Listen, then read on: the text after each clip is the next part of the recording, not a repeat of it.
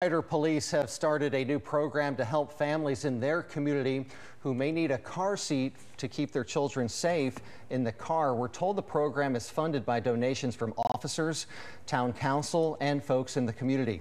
So far, two families have received free car seats from the department. If you need a car seat or would like to donate one, head to the story on our website, WHNT.com. We've got the information right there for you. The program is for families living in DeKalb and Jackson counties.